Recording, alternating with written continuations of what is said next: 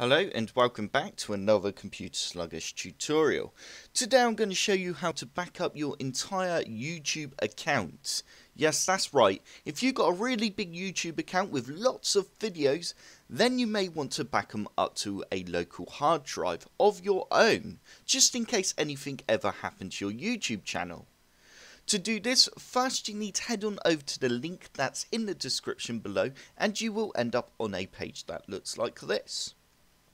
Once you're on this page, you need to deselect everything, which is pretty easy to do. Obviously, just uncheck all these blue little ticks until you get down to YouTube.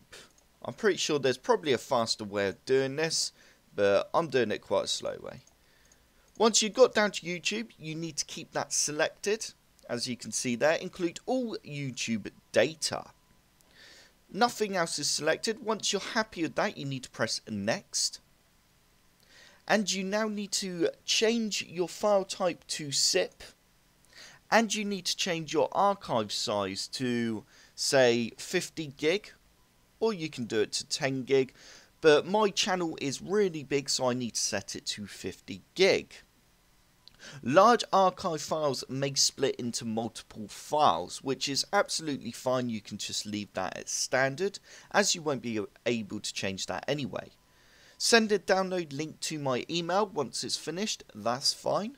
You can now press create archive it will now start creating the backup, but this may actually take a while. This can take up to an hour or two. It just depends really on how big your YouTube channel. For example, I done a backup not so long ago, and it was 39 gig. So that is a huge, huge backup file as you can imagine, and it did actually take quite a long time for it to create that backup file.